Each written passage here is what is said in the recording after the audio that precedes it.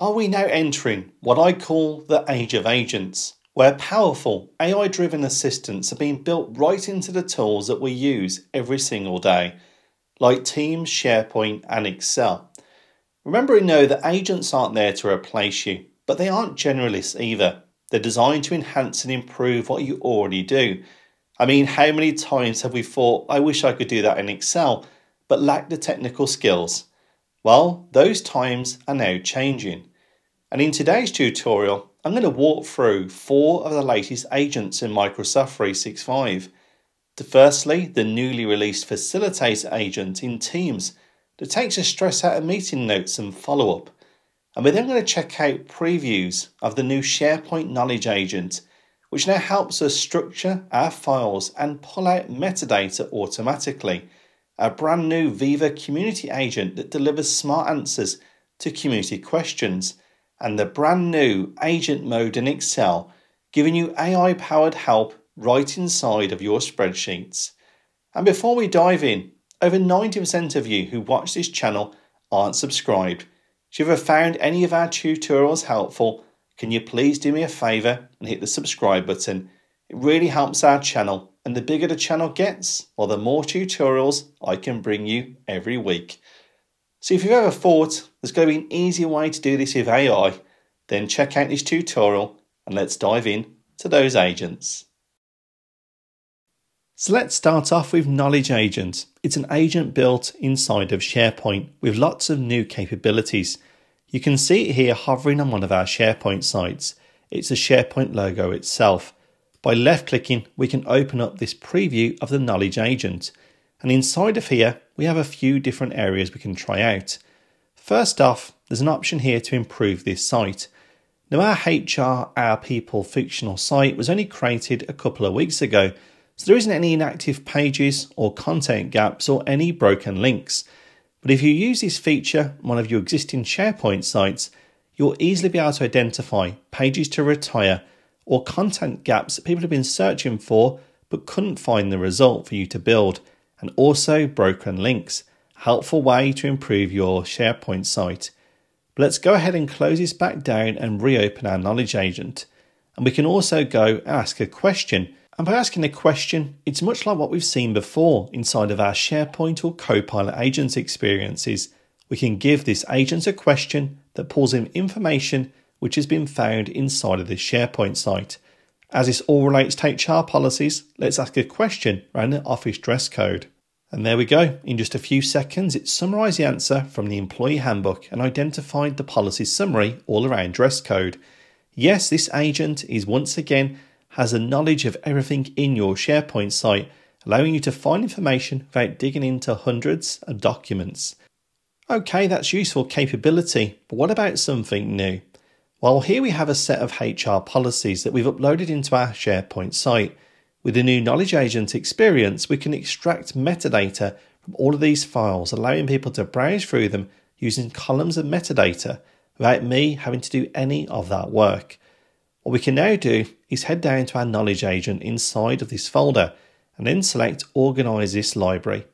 Now do be aware, if you use this feature, it will affect the whole library, which is exactly what it's showing here. Yes, not only this folder will have those new columns, but any other folders and files will also see them too. By removing this here, we can now see that the AI generation begins to look at each of these different files and adds in new columns that suggests that we can now use for people to browse through, possibly the policy scope, the effective date of the policy, and also anything relating to bribery reporting, but that's really not so applicable here because we only have one policy in relation to bribery. So on the right hand side, you can see where the knowledge agent has created these new columns. I'll simply go and click on remove to remove the bribery column, but I'm quite happy with these additional two columns here, which will now be added into the folder so my peers can search through and get an idea of the metadata itself. Go ahead and click on save changes and we can save these changes to the current view, which is currently the All Documents view. By selecting Save, the columns will now be added into the library and then will be populated with the help of our Knowledge Agent.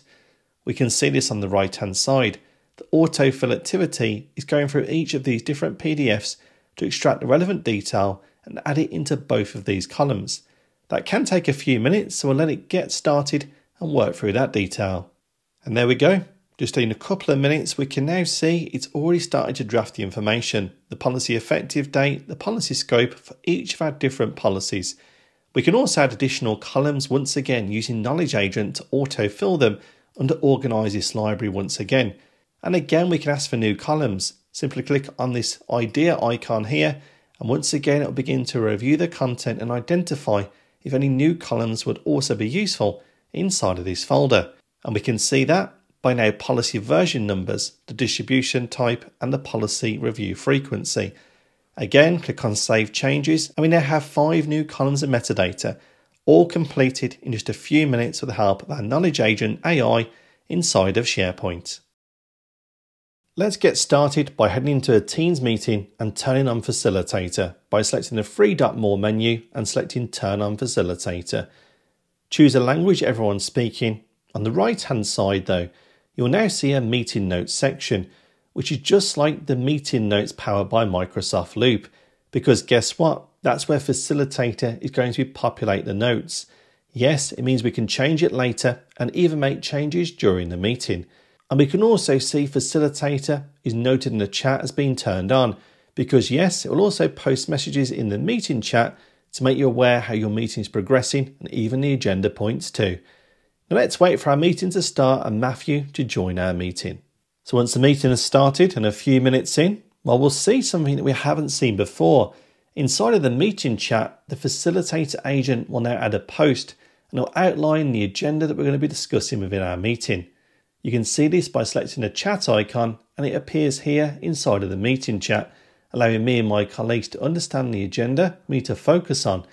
You'll even see at the top of the screen, the agenda is now shown in a visual indicator, breaking down the different points we should cover inside of our meeting that we can see visibly inside of Teams.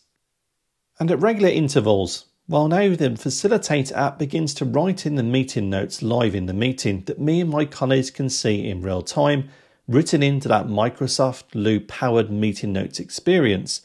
We can also make adjustments, but we can see them visibly in the meeting as we go. And one of Facilitator's superpowers is inside the meeting chat, we can ask it questions that can connect to SharePoint or web data. I've asked it here what cost considerations could we consider to reduce subcontractors that information is not been discussed in our meeting yet, but it connects to the web and now it outlines what we could consider to reduce the reliance and also the cost model for subcontractors. That now means during your meeting, you can tag facilitator and ask questions. And because we're in the meeting chat, you and your peers can also see those responses. So as we come to the end of our meeting, we can see here a range of meeting notes, all captured live in the meeting as well as follow-up tasks that we can now sync in Microsoft Planner and To Do by assigning them to my peers or even myself. With that now done, I'll go ahead and close this meeting and we'll check what happens with Facilitator post the meeting.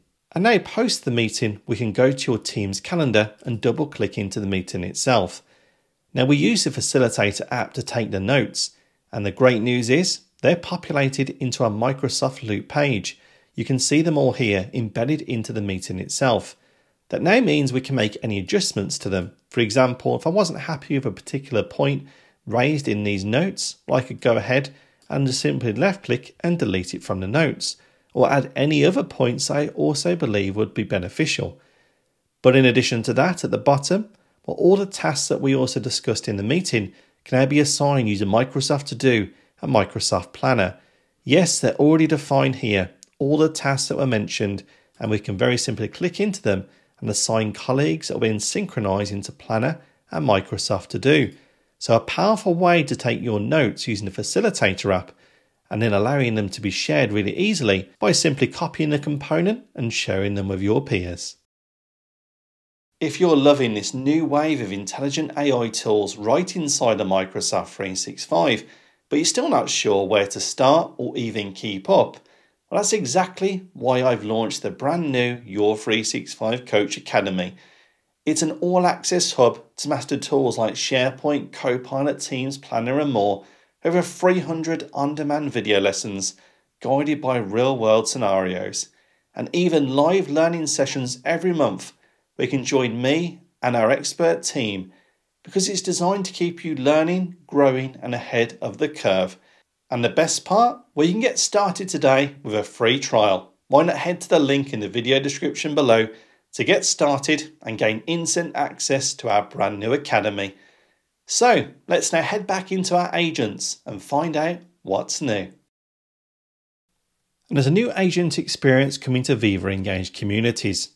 Communities are a great way to be able to also work with your colleagues and peers for both communities in and outside of the workplace.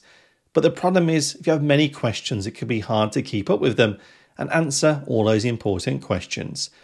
But now there's a new agent experience coming inside of Viva Engage. It allows the agent to answer questions for information inside of the community or in the future from content from SharePoint too. In fact, we can check this out today. Inside of our sports and social club community in Viva Engage, there's a question here from Megan. Will equipment be provided for the five-a-side football session?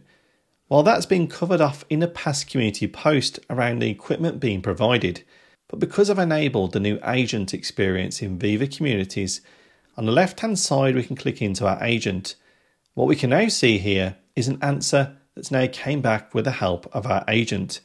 It's taken the information from a previous post inside of the community and now I can understand what the answer could be. I can even expand the reasoning to understand where that information was taken from. And also, now as an expert in this community, I can now go ahead and click on approve and add that back onto the post itself, ensuring Megan gets her reply and others can also see that response. And guess what? This agent experience can even post answers without your approval. Because yes, back in our community settings where I went and enabled this agent for the agent settings, you can see here that automatically our agent could even answer questions if I turn this option to off, ensuring any replies are then posted straight away rather than needing review. But I'm quite happy with this response generated by our agent. I'll go ahead and click on approve. And you can see here, it will be marked as verified by myself ensuring a human, i.e., myself, has reviewed this and verified it to make sure it's the correct answer. It can take a few minutes to now appear inside of Viva Engage communities. We can see the start of the agent experience and see how an agent inbuilt in Viva communities can improve the overall experience to you and your peers. And finally, let's check out agent mode in Excel. It's an AI that can speak Excel, was built straight into the app. But this is in preview, meaning we'll access it for an add-in known as Excel Labs. You can go ahead and search for it and open up Excel Labs. When you do that, you'll be prompted then to use agent mode assuming you have a Microsoft 365 Copilot license. And when you can see this option here, well now we can begin to use our agent mode. Let's now go ahead and give this a question.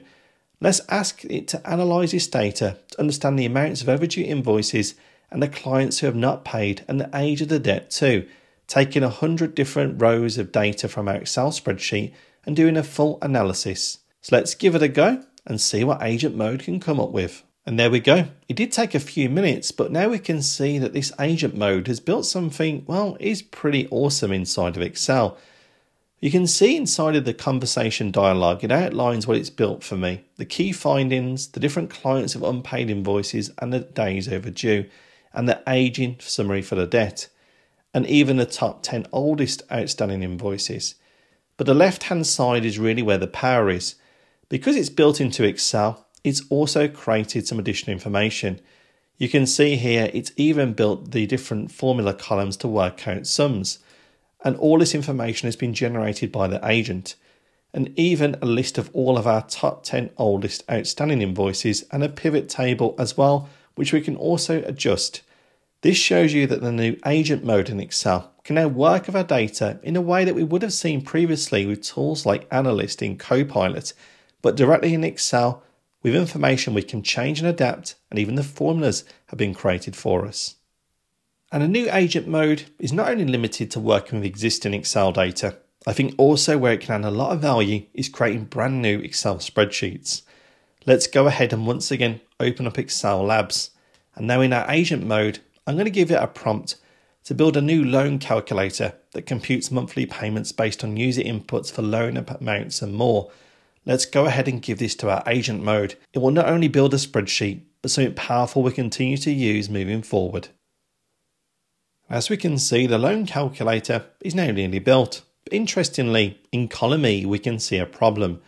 It's worked out one of the remaining balance items, but the rest is unsure about. We've got an error for NA. On the right hand side though, we can now see the Excel Labs begins to work through this problem to resolve the formula issue and also get this corrected. And there we go, we can now see the remaining balance in column E has also been fixed with the different formulas. And this spreadsheet, well we can fully work with it. Let's go ahead and type in our loan amount and increase the amount for the loan. We can see then that this spreadsheet information is updated and it can be made different changes to it. And not only that, we can see there's over 300 rows of information. So in a simple prompt, we've now built a fully working loan calculator that's adjustable and editable using a range of formulas and formatting that we may have not understood or been able to do previously. So you now see why I feel that we're moving into a new age of agents. Because Microsoft 365 is now introducing alongside Copilot intelligent AI enabled helpers right inside the apps that we use every day. And we're also just getting started because there's an upcoming new agent called the Channel Agent built into Teams, and it's going to link into Project Manager inside of Planner. So we can now imagine planning and managing an entire project in a Microsoft team with an AI powered agent helping us coordinate, prioritize, and keep everyone aligned.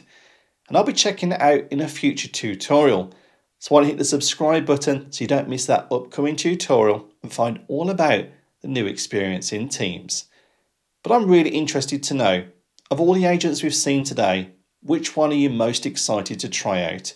Remembering that some of these are in preview, so they won't be available for you straight away, but at least it gives us a glimpse of what's coming in the future with agents in Microsoft 365.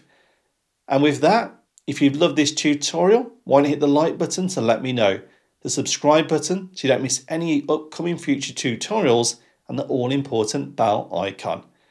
Other than that, thanks for joining today. I look forward to seeing you in the next one.